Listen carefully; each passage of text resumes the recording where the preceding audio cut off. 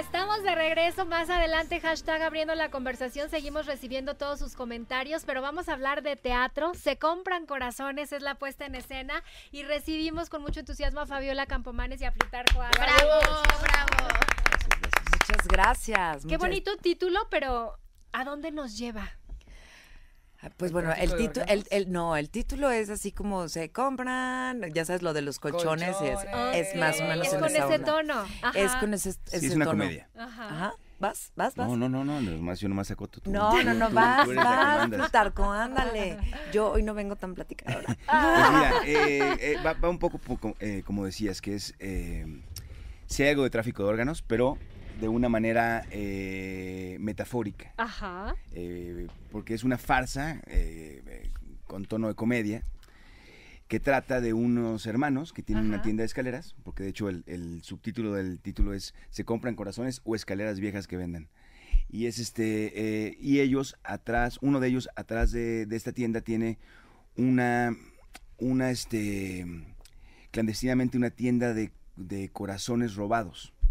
Este, este chavo va y le arranca el corazón a las personas, los guarda ahí, y luego tú llegas como cliente y si quieres cambiar tu corazón te lo cambia por otro y sientes como alguien más.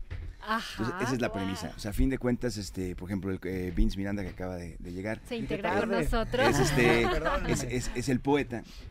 Es un poeta que de repente lo, lo atracan en, en- en un puente y le, le roban el corazón. Y ese corazón se vuelve muy cotizado porque mucha gente eh, que ya no siente como sentía cuando era más joven o, o- o que nunca pudo sentir a su máximo, el corazón del poeta te hace ver el mundo de una manera distinta, de un- una manera más intensa, más profunda, más apasionada. Eh, de repente, si tú estás muy lastimado y sientes que, que tu corazón eh, ya no quiere sentir tanto, pues te agarras el de un político, ¿no? O el de, o el de un abogado, ¿no? Y entonces te vuelves más Eso cínico. Entonces, este, eh, esa es la premisa de la obra. Eh, es, es una, es, una, es una comedia, eh, nos reímos de nosotros mismos y al final, como todas las buenas comedias, reflexionamos sobre, sobre cómo nos estamos relacionando y cómo estamos todos insatisfechos, siempre queriendo sentir como el otro, tenerlo del otro. Y este, Fabiola y yo somos una, una pareja disfuncional, porque yo soy, ella es prostituta y yo soy su padrote. y, eh, eh, eh, y cómo se llama, y en esta historia ayudamos a- a- al poeta a recuperar su corazón. Yo creo que también, o sea, bueno, como, como dice Plutarco, para mí la obra es, es, es una comedia, pero es una comedia hermosa porque habla mucho acerca de las, o sea, trae mucho mensaje.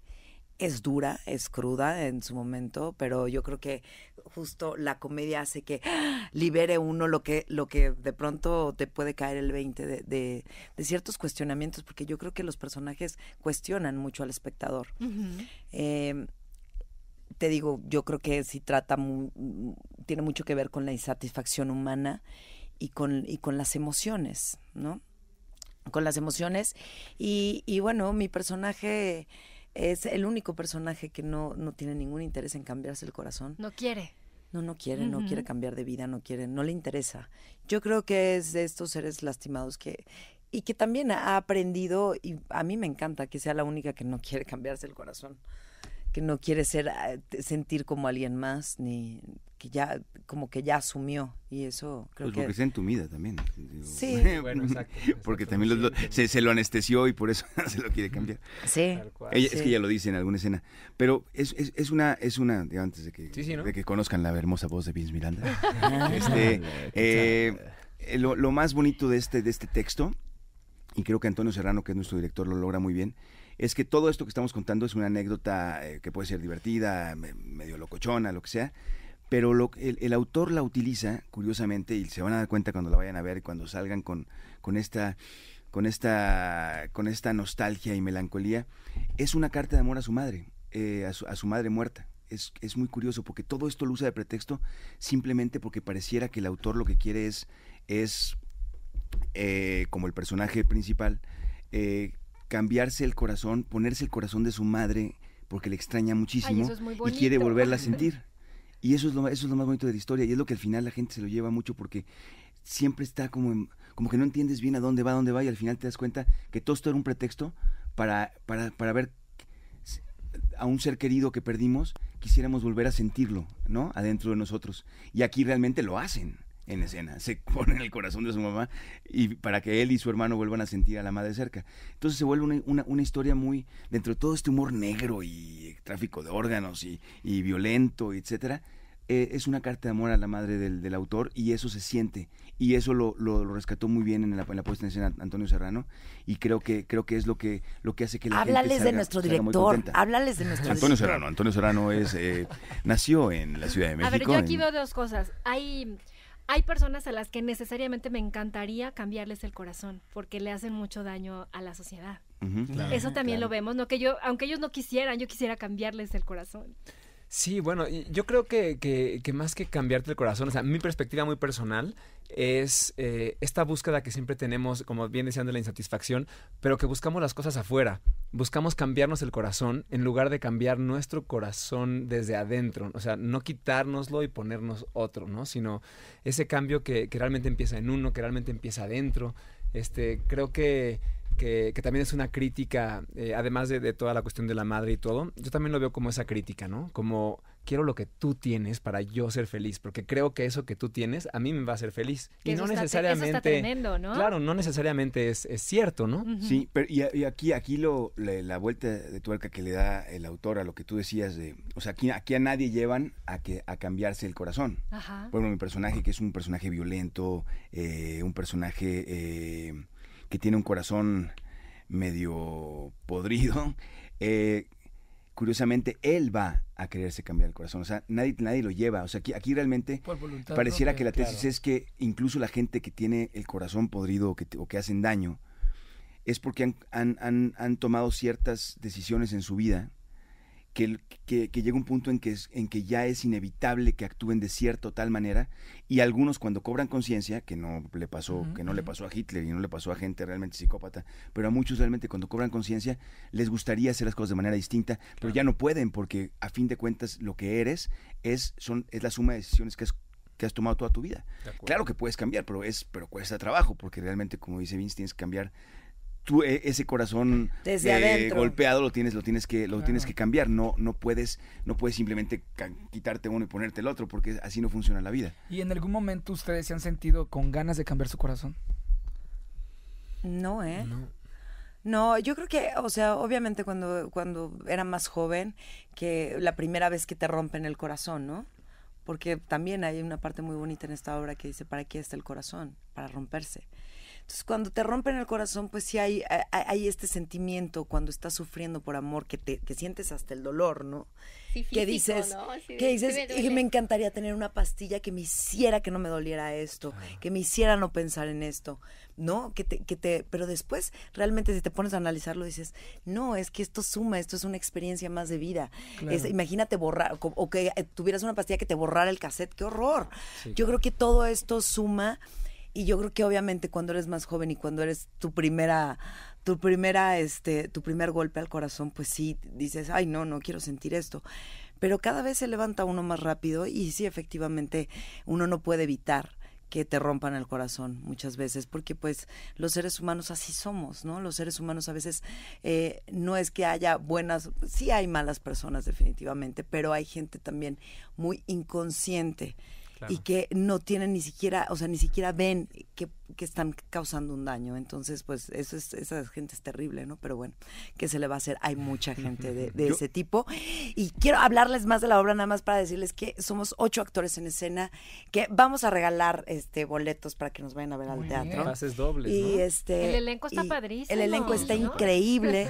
el- la dirección está increíble, la escenografía, bueno, les digo. Sí, visualmente son unos cuadros preciosos, eh, muy artísticos. Es una cosa de verdad que si te sientas y es antes de que empiece la obra incluso es como una cosa de estar viendo el escenario. Es qué una obra para bonito, verla, de, hecho, veo. no en las primeras filas. Le- perdón que lo diga, pero sí lo quiero recomendar. Pero no, o sea, no en la primera fila, por lo Ajá. menos, porque, porque sí, la escenografía es, es bien bonita. Y, y además no- nos ven las, las imperfecciones demasiado cerca. ¿Cuáles imperfecciones? El- no, ¿Cuáles el- canas? Y Ah. bueno, no sé si ubiquen ustedes a Antonio Serrano, que es nuestro Claro que director. sí. Él dirigió en televisión Mirada de Mujer, este, eh, Nada Personal. O sea, ya ha trabajado mucho contigo.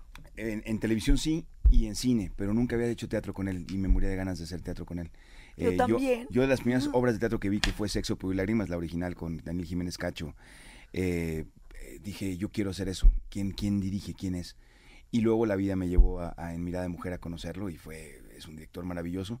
También dirigió Hidalgo, eh, La historia jamás contada, Sexo, Pudor y Lágrimas en cine. Creo que es un director maravilloso, que aparte está en plenitud, está en su momento de madurez y aquí lo, lo notas, porque realmente resolvió una obra muy complicada, muy difícil, en tono y, en, visualmente y de una manera eh, poética. Es que es como si viera, si viera, o sea, yo siento que aunque no tengo la oportunidad de verla, pero siento que, o sea, como está dirigida y demás, pareciera que es, o sea, es, es como una peli en, en teatro, En ¿no? Una, una, Claro. sí, porque las escenas están, entonces está... ¿Y cuánto dura? Hora y, Hora y media, 35, ¿no? por ahí. Por ahí. ¿En qué En un teatro? acto, sí. En el Teatro López En el- Tarso, ahí en San Ángel. Al sur. En el Foro. San Ángel. sur, en el Me Foro parece San una zona Ángel, padrísima porque ya eh, esto que hizo Ortiz de Pinedo de, de remodelarlo y de volverlo un teatro más comercial, porque antes era el Centro Cultural San Ángel, fue una gran idea porque está en un punto maravilloso, es donde se pone el bazar el sábado. Sí, Pero padrísimo. está lleno de restaurantes, lleno de, de cafecitos, lleno Déjenme de hacer la pausa, no, no los dejo Por favor. Ok, Ok. Regresamos en un momento, no se Vale. Bueno, ya estamos de regreso, Fórmula Espectacular, Fabiola Campomanes, Plutarco Asa y Vince Miranda están con nosotros hablando de esta puesta en escena. Se compran corazones en el Teatro López Tarso, que de eso justamente estábamos hablando, que es un teatro de fácil acceso y está la zona muy bonita, porque un sábado te puedes ir a comer al Jardín del Arte y demás y después pasarte al teatro, ¿no? Totalmente, ahí está el mercadito enfrente y estamos viernes, sábados y domingos. Y, y además está, estamos muy, muy, pa, o sea, Muy bien acompañados. súper bien acompañados. El, el- el elenco son Ruiz, Ruiz Senderos, Ajá. que lo recordarán como el hijo de, de, de Casillas ahí en El Señor de los Cielos. ¿no? Rui. Sí. Ruiz Senderos, sí. Está este Pepe Te mandamos Lambarri. un beso, Rui. que Pepe dice, también. dice que se, que se Lambarri. Lambarri, Pepe Lambarri. Pepe Lambarri, pero todo el mundo lo le dice Lambarri. Ajá. Eh, está Héctor Héctor Kotsifakis. Ah, Otro beso a Ah. Héctor. Está Mercedes. Bogan. Mercedes también, beso para ti. Está este Jorge, Jorge Aranda. Aranda. Besito también, Y- Jorgito. ¿Quién nos falta? Y ustedes. Todos ellos en escena o Sí. alterna. No, No, no, no, todos. todos. todos. Sí, es una, es una, es una propuesta muy, muy aventada y muy arriesgada de la teatrería, de la TAM Producciones, que es la primera vez que producen fuera de la teatrería una, una obra de gran claro. Y aventarte con, para, con ocho actores y con una producción de ese tamaño, la verdad es que son, son bien, bien, Valientes. bien Y lo audaces. hicieron por la nómina, porque digo, la teatrería es muy chiquita, con ocho actores tienes que buscar Es que cobramos bien poquito nosotros. Ay, ajá, pero es casi pro bono. Sí. Sobre todo Fabiola, ¿eh? Que le contaron Pues- que un chorro de Pues mira, obvio- ob- obviamente y afortunadamente que existe, eh, tenemos, eh, tenemos el apoyo de, el apoyo de Fiteatro. Ah, eso es muy Este, bueno. y bueno, pero no con eso nos alcanza porque si van a ver es una producción mucho más grande. Eh, eh, y cómo se llama, y sí, sí es un, sí es un riesgo que están asumiendo, y que además es como que tengo entendido que es la punta de lanza de la TAM Producciones para muchas obras que vienen atrás de esta, este. Así que es muy este importante que vayan al teatro. Claro. Exacto. Es Bueno, muy Es importante. garantía tenerlos.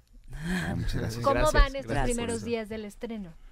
Va muy bien, ¿eh? bien. Va La muy verdad es bien. que va bien y va subiendo. Cada, cada fin de Semana. hemos visto cómo llega más gente, lo cual pues motiva, ¿no? Porque se ve que está funcionando el, el de boca en boca, que creo que es lo más importante. Sí, es lo más importante porque luego te pasa que cuando hay mucha publicidad, eh, de repente y un gran estreno con mucha prensa, empiezas muy bien, pero si la obra no gusta, uf, se va desinflando, ¿no? Y el teatro tiene que ser una, una bola de nieve, tiene que, el, el boca a boca hace Exacto, que es tú, la mejor tú recomiendas a Estoy de 10 acuerdo. más y esos 10 más vienen, entonces... hay- Y la gente sale feliz, ¿eh? De verdad, la gente sale feliz. Los comentarios, o sea, de, de- o sea, de todos es- son muy buenos. La gente sale como con, con una sensación muy bonita. Es una obra que te deja, o sea, te deja pensando, te deja sintiendo. Eso es, eso es algo A maravilloso. mí me encanta eso, que salgas y, y- y puedas conversar. Pues esperamos verte este fin de semana ya. esperamos verlos a todos este fin de semana ya. Y ¿Es sobre, para toda la familia o qué edades son las recomendadas? Eh, Yo digo que... que Es para adultos, siento que, que- O o un PG-13. adolescente de Adolescentes. 17 para arriba, yo Ok. creo podría, Porque es un cuento, una- ¿eh? Es, obviamente es un Cuento ¿no? Pero, pero sí hay algunas eh, palabras, eh, bueno, hay algunas groserías, este, Ay, hay si un poco de violencia física también. Ok, es Entonces, más para adolescentes y adultos. ¿No? Exacto, adolescentes y adultos a discreción de los padres. De los padres, sí, porque realmente, o sea, nuestros hijos, los que tenemos hijos adolescentes, eh, pues sabemos que desde los 14, 15 años ya están... Ya se saben del abecedario y Sí, todo, ¿eh? simplemente yo, yo como papá obviamente... Están listos. Yo, yo, yo siempre intenté no, no propiciarlo yo, ¿no? Sin- Para que se le retrasara un poquito más la pérdida de inocencia, pero y que fuera a su, a su, a su, a su ritmo. Por eso a veces los papás no, no llevamos a, de 14 años a un niño a, a- a ver una obra como esta. Pero, pero yo sí creo que alguien de 17 ya tiene el criterio suficiente y además se va a divertir mucho más porque le va a entender mucho más y, Claro. y, y el papá va a estar más tranquilo cuando digan las groserías y- no va a estar así toda roja la mamá. Me preguntan en redes sociales si vas a continuar en El Señor de los Cielos. No, eh, hice la cuarta y la quinta. La sexta nos mandaron a Europa. eh, y, eh, decidimos ya no, no estar en esta temporada. Y más adelante nos vemos porque no- muertos no estamos. ¿Y en el Chema? En el- ¿Estabas también en no, el en el Chema no estuve. Ah, No, no, la- la- solamente estuve en El Señor de los Cielos. La final de la 3, 4 y 5. Ahorita estoy, este, te- terminé Silvia Pinal, la serie de Carla Estrada. ¿Qué personaje es? Eh, hago a Gregorio Wallerstein, que fue un, un- un gran productor de la época del cine mexicano. Le decían el zar del cine mexicano. y fue quien, quien apoyó la carrera de Silvia Pinal para... ¿Y no fue su novio? No, él fue de los pocos que no fue. Sí, porque la tía Silvia se Él comió sí la no. sección amarilla Él sí no. completa. No, no dudo que haya estado eh, en- ahí por dentro medio, ¿no? medio enamoradillo porque era una mujer Guapísimo. guapísima y aparte con un carisma y con, un, con una sensualidad impresionante. Pero él fue más bien como una, como una figura paterna. Él era, él era un, un productor judío, contador, súper cuadrado, con una familia conservadora. Entonces, este, eh, y su pasión era el cine, y se metió al cine a hacer películas con Joaquín, de Joaquín Pardavé, y de ahí, ¡fum!, se volvió el zar del cine mexicano. Y en esta primera etapa, antes, antes de, de Silvia Pinal del teatro musical y de Buñuel y de, y de Televisa, en esta etapa de ser una actriz eh, secundaria, buena, que ya había, sido- había estado nominada al Ariel, pero que no había protagonizado ni era una estrella, él la impulsó para ser una gran estrella. ¿Ya tienen fecha para el estreno de la Lo último que escuché.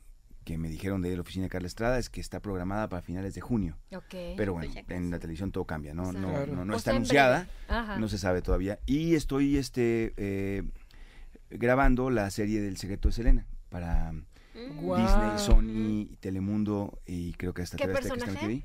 Ahí soy el fiscal Carlos Valdés, soy el, el fiscal que ayudó, bueno, que sin él no hubiera sido posible que, que, que metieran cadena perpe- perpetua a, la- a Yolanda, porque la gente no se acuerda mucho que a pesar de, de lo obvio que era el que era Sí, que, era que fue el asesinato, eh, fue un- tan vivo el abogado de Yolanda Saldívar que ya la estaban, ya lo estaba convenciendo de Ya. que, de que, de que había sido un accidente.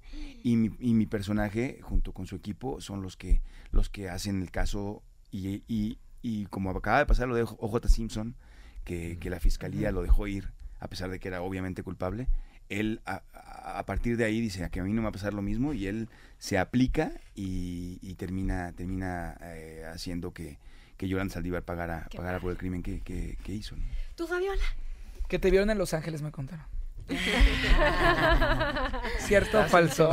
Sí. Pero en el Salón Los Ángeles, baile, baile. ¿En qué- Bailando. Cuéntanos Sí. en qué andas, además de Se Compran Y Corazones. Es que todavía no puedo decirlo, Ah. Pero ves, ya viene, ves. vienen, vienen, vienen, vienen series. Ah, Ok. Vienen series, sí. En eso estás, pero todavía no, no lo puedes compartir. Pues todavía no lo puedo compartir, pero sí viene algo bien, bien, o sea, vienen dos proyectos importantes, uno de ellos muy importante para mí. fuera de es- México.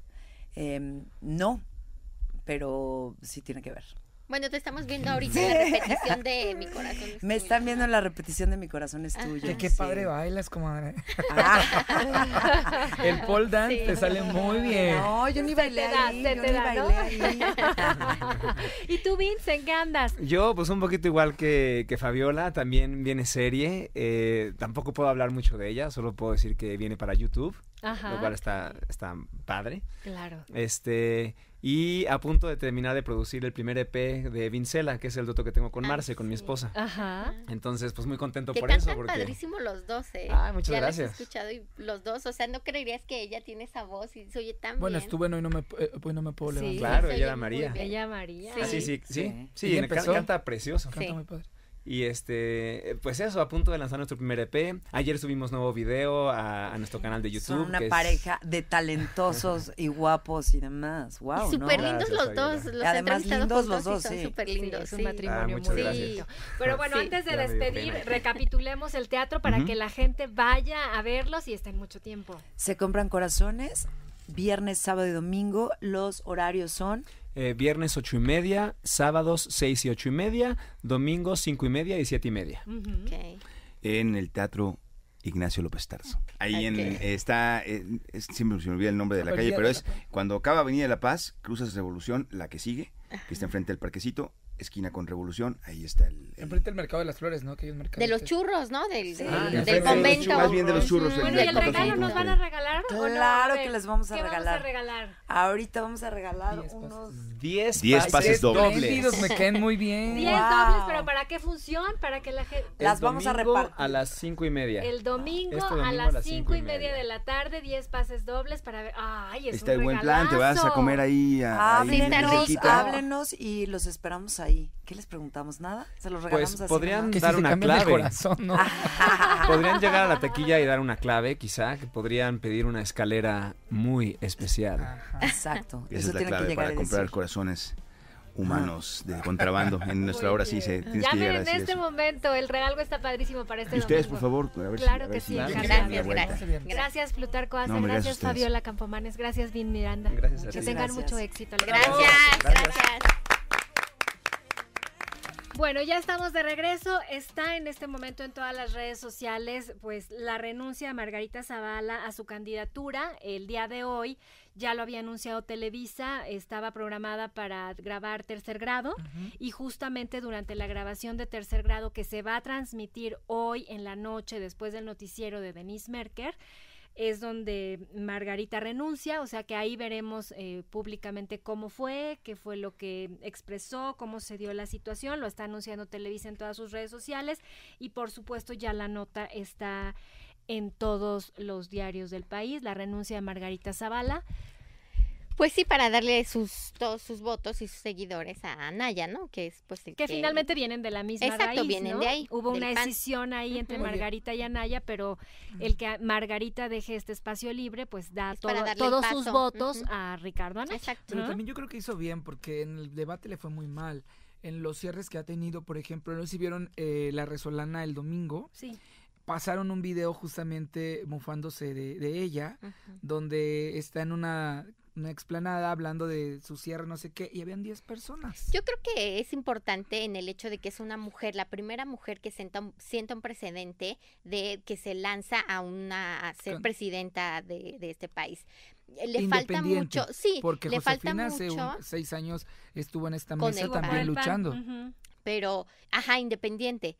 Pero le falta mucho, o sea, siento que se le salieron muchas cosas de control, su equipo de campaña no la apoyó lo suficiente o no sé qué pasa, porque digo, Además, para... yo creo que es una elección en donde al menos las encuestas están como muy definidas. Sí, Y ya yo creo que ya si se va por una por una causa está demasiado exacto está demasiado definidas las encuestas que no son determinantes ¿eh? a No. final de cuentas la decisión se toma el día de la elección porque es una decisión privada y, y- y ese tache lo das hasta ese momento punto sí.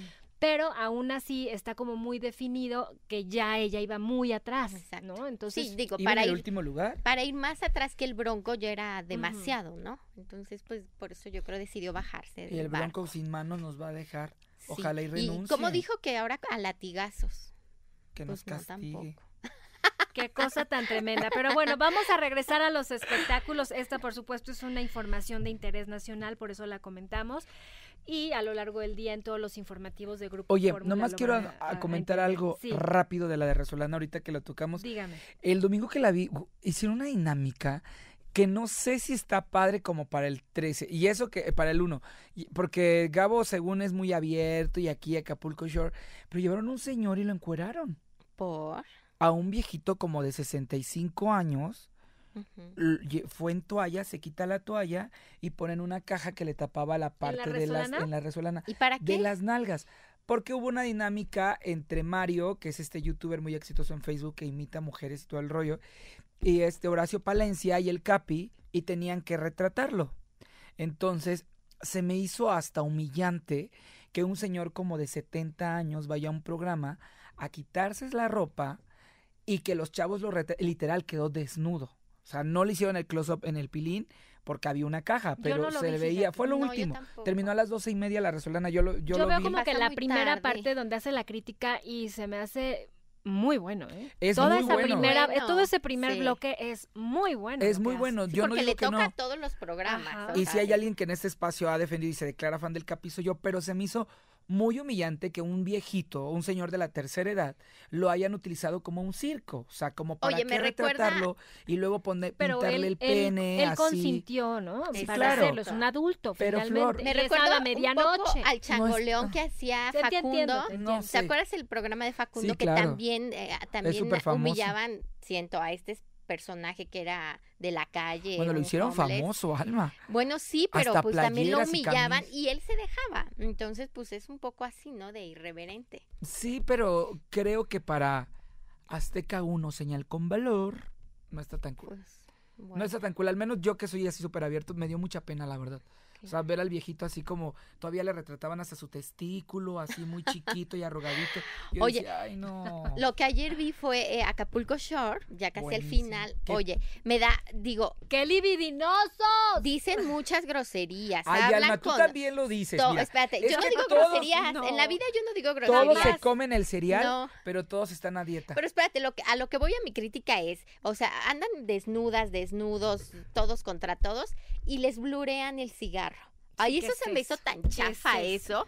O sea, dije, ¿qué es No eso que no se le ve la pilín mano? del potro. No, porque estaban, le digo a mi sobrina, oye, ¿qué es eso? ¿Por qué le están blureando? ¿Por qué tu sobrina ve eso? ¿Cuántos años tiene? No, bueno, ya que Ya, puede, de ya verdad, puede. Yo, yo ahora que estoy eh, trabajando con Brenda Zambrano de Acapulco Shore, es de verdad impactante ver cómo la gente sigue estos personajes. Pero en no redes está sociales. padre, ¿eh? No, está padre lo que nada. hace. Ay, a mí sí me encanta la Yo fiesta. sé que sí, porque tú eres, tú eres muy así, pero no está tan padre. Para No, una no chava de tan 20 padre. como tu sobrina que le digan que toda es Sodoma y Gomorra. el Sí, Flor, tengo una prima de 13 discúlpame. años y es súper fan de Pero ¿cómo permites que una prima de cristianos. 13 años vea eso? O sea, no es, Es un buen que ejemplo es un para una poco- niña de 13 es años. un poco lo que discúlpame. decía eh, Mauricio Discúlpame. Ockman con su personaje en el Chema. Claro. O sea, la culpa aquí la tienen los, papás, papás. que lo permiten Tú no ver. dejes a la niña de 13 años ver Acapulco Shore. O Es sea, no es una edad para que veas que las muchachas se pueden acostar con uno y con otro y a la noche siguiente con el otro y después que no voy, Sí. no voy a salir virgen de este show, tengo que acostarme con este. No, Sí. oye, me siento muy borracha por no decir la otra palabra Ah, que usan que en el Acapulco Shore. En los O 80 sea, y una 90. niña, una niña de 13 años no puede ver eso porque va a creer que eso es lo normal y perdóname, pero eso no es lo normal. Pero Flor,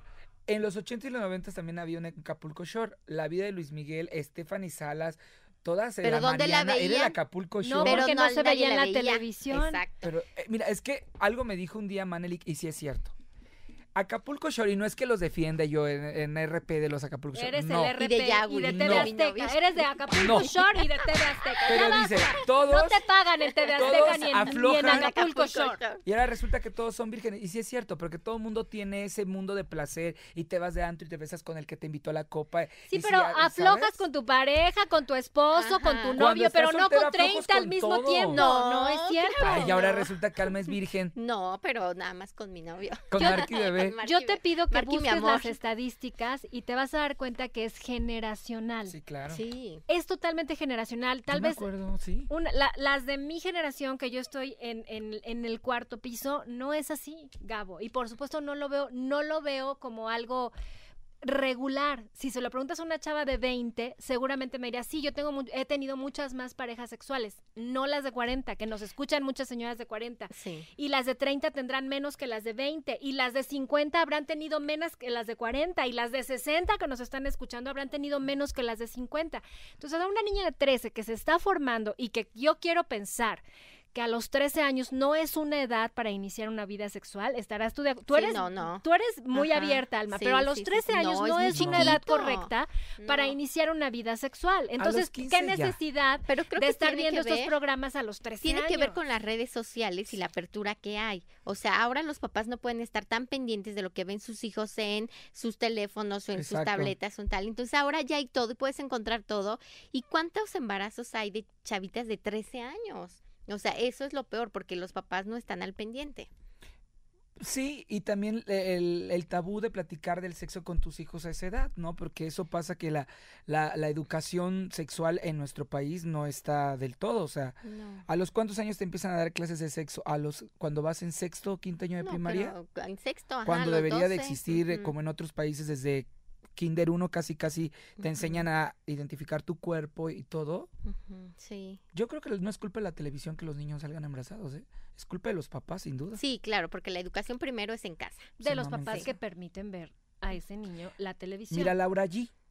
Hasta su bebé está chiquitito y ya pone porno en su... Eso no es cierto, eso es una mentira. Es broma, Laura. Y no lo digas ni de broma. Es broma, te amo. No, no, no, pero le pasó. Estaba viendo una serie en Netflix, mi comadre hace una historia con, con su niña y su niña eh, queda enfrente y en la pantalla se ve una escena muy sexosa e inmediatamente se le empezaron a acabar de que Laura ve porno, está Sí, viendo pero fue porno. circunstancial. Sí, no es, no es que la estaba Pero viendo fue con muy la niña. chistoso. y- No, bueno, vamos a cambiar No de es tema. chistoso porque yo conversé con Laura el lunes que la vi y es algo que le dolió muchísimo. Te digo lo- su, per- su percepción como madre. O sea, ella realmente ni se dio cuenta porque se fue a dormir después de haber subido una historia y eh, a la mañana siguiente que llegó a la oficina, todo el mundo le comenzó a comentar de lo que ya estaban diciendo, Laura G ve pornografía con su hija, lo cual es una mentira y eso no se vale para una mamá. Una mamá que está 100% dedicada con su bebé. Puede ser chistoso para quien no lo vive, pero para quien lo vive es horroroso. Pero mira, ¿no? yo creo que a ella se le fue porque, Seguramente. es- o sea, no tuvo la atención de ver qué es lo que subió y ver qué estaba de fondo. A lo mejor nada más vio a la niña, pero no vio lo que estaba de fondo. Y, y para las redes sociales hay que ser súper quisquilloso y tener Y más si eres figura pública. consciente de ver qué subes, lo que escribes, lo ya me pasó, cómo lo escribes y tal, porque la gente te acaba. encuentran el, de- el Ujú. detalle para, para ver exactamente Sí, el negro Maca, en el arroz. O Por sea, digo, ya me el pasó. negro en el... Mira, aquí hay una chava que está diciendo que nosotros estamos discriminando y que hay que llamarle a la CONAPRED y que ¿A quién pobre Lele? Pons. A Lele Pons porque decimos que no nos gusta que sea la conductora de La Voz México. Ahí es su no mamá, Flo. inventen, no inventen, ¿no? Pero ¿cómo con Apred? Por Que se la lleven a favor. Venezuela. Que la punto. regresen. Oye, pero Arepas, que se que ponga a es hacer y punto. Venezolana americana, que, que tiene la doble nacionalidad, me estaban diciendo. Pues bueno, si se va a Venezuela, que haga arepas. Y si se va a Estados Unidos, pues que se vaya al, a No, yo digo que está muy bien que Lele Pons le den chamba. No me gusta como No conductora de La Voz. México. No es Además vedette, ya no está es ahí, ya está firmada, ya qué le hacemos, Ya, ya, ya, ya no podemos hacer nada. Ya lo que digamos. Al menos que, la acusen de lavado de dinero como a mi querido Julián y vuelvan a suspender la temporada. Ya de La Voz. regresamos. Ay, Alma, ya, preséntanos tus notas. De Por orgasmos. favor. Ya, de orgasmos, qué. ¿qué quieren? De orgasmos, de buena onda. Atala Sarmiento, la entrevistaste, Atala, ¿no? Que- ¿Cómo hará el amor a Tala Sarmiento? Ay, no, Ay, se me cállate. hace que ¿Le es como preguntaste? muy... No No, es de el eso siento que tema. es suavecita, así no. de, De eso no. Sí, Yo siento creo que- yo también de como monja, aburrida. porque como quiso ser monja, Yo creo que no, porque al se contrario. persina antes. El Tiene que un sigue, la marido posición más del chico que misionero. ella, tiene un marido más chico que que ella. dar ¿Tú te imaginas la diversión Ay, para se sí, ¿eh? es más chico y que muy ella. guapo. David está muy guapo, muy muy guapo. guapo. Pues la entrevisté y ella nos cuenta que eh, a pesar de todo lo que le está pasando en su vida, no es un momento complicado, no lo ve así, aún no tiene proyectos de trabajo. Nos cuenta de su viaje por Roma, que se fue una semana, pero se fue sola. Entonces nos cuenta por qué se fue sola y si va a la producción de Carmen Armendáriz.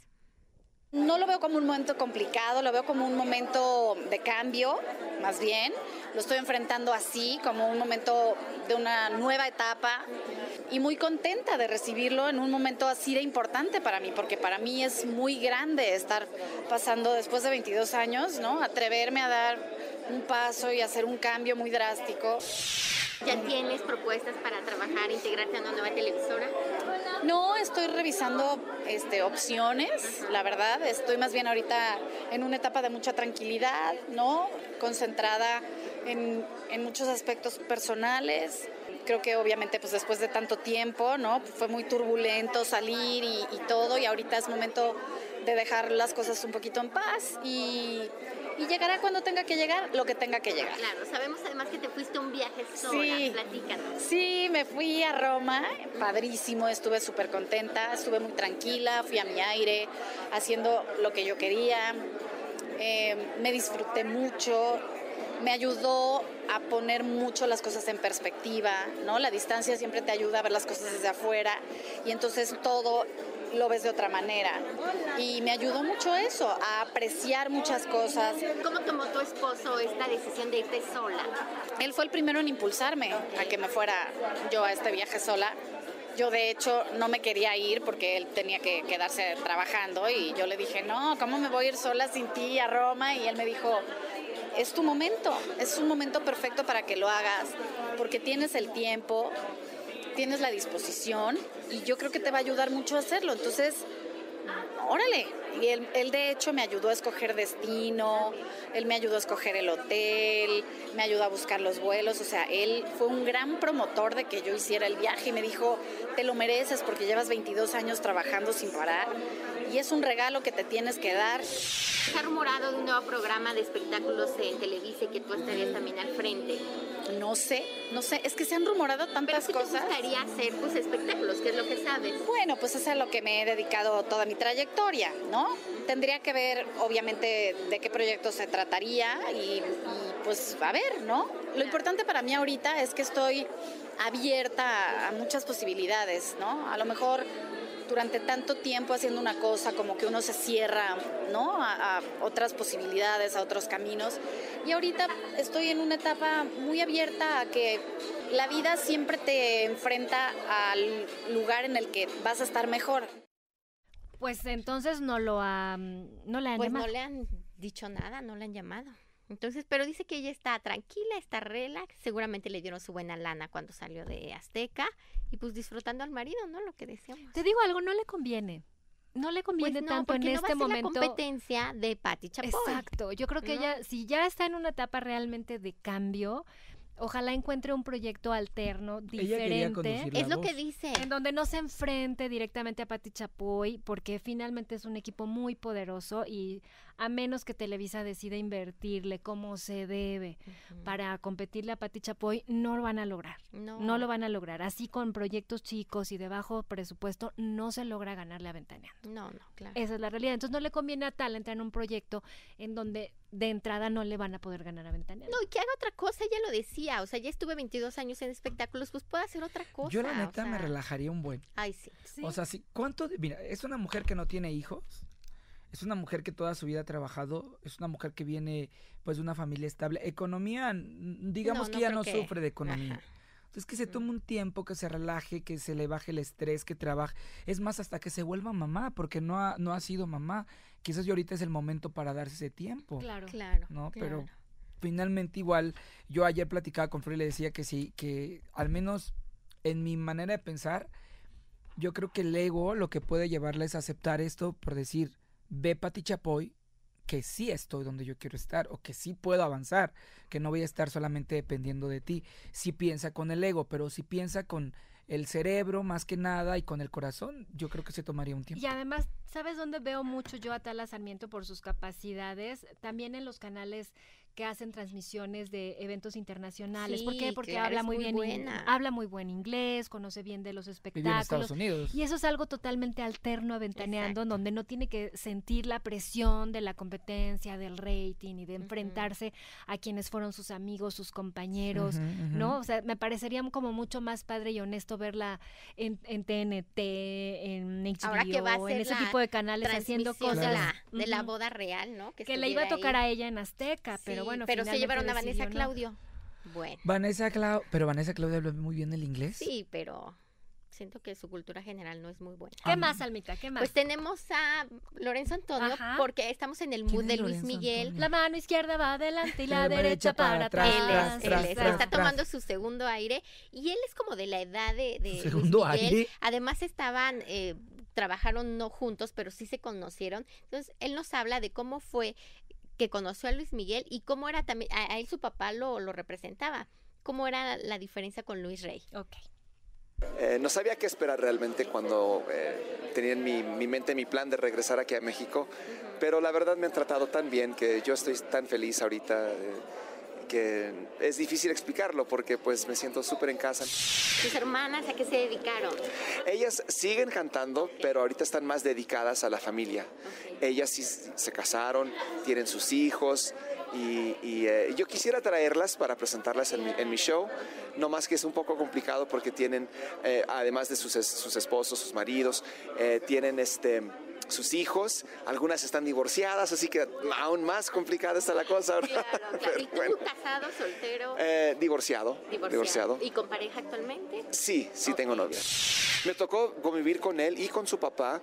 Yo nunca vi nada de eso, la verdad no. eh, Aparte pero los eran jóvenes, ¿no? Chicos. éramos chicos y no convivimos mucho tiempo. Era rápidamente vernos en, en una entrega de premios aquí o una presentación por allá. Eh, conviví más con, por ejemplo, con Lucero, con este, con Pedro Fernández. A mí, bueno, fue diferente a eso, definitivamente, ¿no? Eh, mi papá, él fue criticado de otra manera, porque en esa época, cuando yo empezaba mi carrera, él estaba frenando siempre, diciendo, mira, está bien que, que hagas esto, eh, pero, pero no quiero que dejes la escuela tampoco. Tienes que mantener tus estudios y, y yo nunca dejé de estudiar. Yo siempre, eh, o sea, no, yo no tuve maestros particulares. Incluso le decían muchas veces, como Luis Miguel lo está haciendo, tiene sus maestros particulares. Pero mi papá decía, no, no, no, no, esto es, esto es importante, claro, pero no es toda la vida. eh, No es, hay otras cosas. La carrera de Luis Miguel pues, es, es algo sensacional, que ina- in- inigualable realmente. Entonces, pues también el resultado está ahí, ¿verdad? Sí, pero, pero personalmente te hubiera gustado que tu papá no te dejara en la escuela y que te hubieran puesto más a trabajar. No, yo digo que no, viéndolo de una mane- manera de negocio, pues yo comprendo que pues también podríamos haber hecho más dinero, más fama, más todo eso, ¿verdad? Pero ¿a qué costo? Y eso es lo que mi, mi papá medía. Oye, Alma, ¿y sigue igual de guapo? Sigue Era muy un niño muy bonito, sí, delgado. muy alto, ujú. delgado, este, muy amable. Y él nos contestó nuestra encuesta de los miércoles de orgasmos. Vamos a escucharlo. Lorenzo Antonio, sí lo tienes, Sí, Inge. Ahí sí lo está. tienes. Está como sección. Sección, Sección miércoles Lorenzo de Ay, orgasmo. Tobonchi, sigue Sí, en yo lo vi hoy. Por eso ya hiciste match. Sección, ya ves, ya estamos perdiendo el tiempo. Eres una pecadora. ¿Cómo le preguntaste a Lorenzo a Antonio de esas cosas? Ya, vamos a tierno. escucharlo. ¿Cuál es tu posición sexual favorita y por qué? Es que yo creo que depende de la persona, ¿verdad? Depende de la persona, de la atracción que hay. No tengo una posición fa- favorita, digamos, ¿no? Es más bien, depende de, de- de la mi pareja, ¿no? Ok, ¿le harías un striptease a tu pareja? Sí, yo sí lo haría, sí, pues eh, tal vez estando en un poquito mejor condición. No, Lorenzo Antonio, tú no, tú eres un niño. Sí, así lo vemos, como un niño. Nos quedamos con la ¿Qué edad imagen de chiquito. ¿Cuarenta y tantos? Pues ya cuarenta Como y Luis. Miguel, sí. ¿no? Más o menos sí. todos somos de, De la misma edad. edad. Paulina, Sí. Talia, todos los de esa, jugue- Lucero, juguemos a cantar, es como la misma generación. Sí, pues todo un icono. Y está regresando con su show. eh, se está presentando en diversos lugares, en, en teatros aquí en la Ciudad de México. Y quiere traer a sus hermanas porque sus hermanas siempre lo acompañaban en sus shows de Juguemos a Cantar. Entonces quiere traerlas, las va a juntar porque viven en Estados Unidos. Muy bonito cierre. Gracias, Alma, por Muchas haber estado gracias. con Nos vemos la siguiente semana con más información. Gracias, Gabo Cuevas. Nos vemos el viernes si Dios quiere. Mañana Gabo descansa, pero nosotros regresamos a las 12 del día con todos ustedes. Recuerde que nos puedes escuchar en el podcast en ibox.com, en YouTube también encuentra el podcast y en nuestra página florrubio.com, siempre espectacular.com. Quédese con el Padre José de Jesús. Buenas tardes.